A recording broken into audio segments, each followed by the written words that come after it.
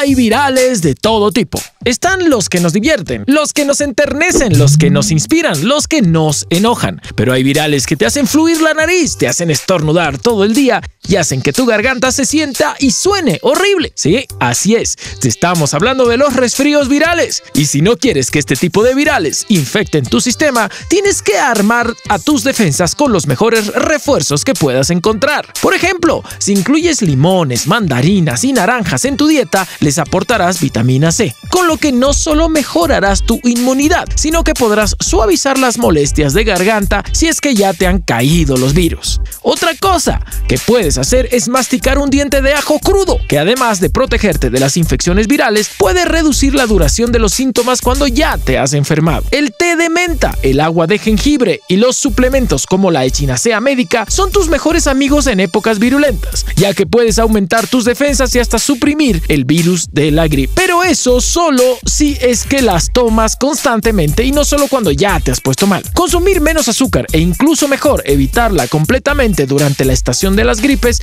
es muy importante. El azúcar de color blanco en cualquiera de sus formas es lo que debilita tu sistema de defensas sin que te des cuenta. Y aunque es algo muy obvio, también es muy importante que te laves constantemente las manos, porque a través del contacto físico se transmiten la mayor cantidad de virus. Así que si vas a estar en compañía de gente resfriada, asearte como persona desquiciada puede salvarte de muchos días de sufrimiento. Eso sí, ninguna de estas recomendaciones serán suficientes si es que no tienes una alimentación sana y equilibrada, que es el requisito principal para no caer presa de los virales más infecciosos. Así que cuida tu cuerpo y él cuidará de ti.